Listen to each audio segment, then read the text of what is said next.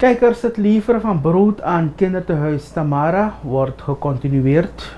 Uit 1 voor 12 bakkerij worden warme broden dagelijks geleverd aan het tehuis. En dit wordt mogelijk gemaakt door donateurs die over een bepaalde periode de kosten daarvoor dekken. Voor de komende periode is er een andere donateur die dat op zich neemt.